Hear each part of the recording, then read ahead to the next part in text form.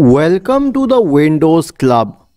If you wish to fix Windows installation error 0x800F0955-0x20003 on your system, then either read through this article on the Windows Club or simply watch this video, we will guide you through the resolutions.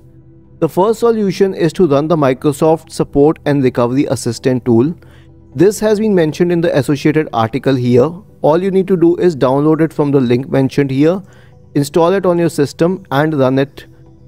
The next solution would be to run the Windows Update Troubleshooter.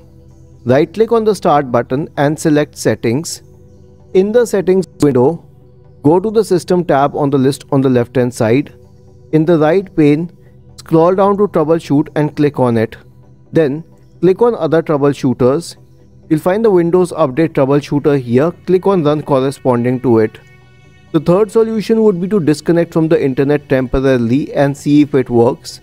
And if that doesn't work either, then try upgrading via the Windows Update Assistant.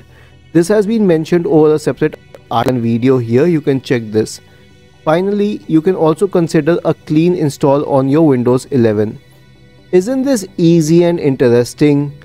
If you have any doubts, please go to the original article on the Windows Club, scroll down to the comment section and write your query. We will surely answer to it. Do not forget to subscribe to the channel. Thank you for watching this video and have a nice day.